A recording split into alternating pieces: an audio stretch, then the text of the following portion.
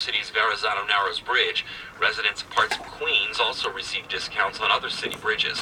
Motorists in New York, Pennsylvania, New Jersey, and Connecticut said that offering discounts to a select group violated their constitutional right to travel. This is WNYC at 1206. Support for NPR comes from TIAA CREF, a global financial company dedicated to delivering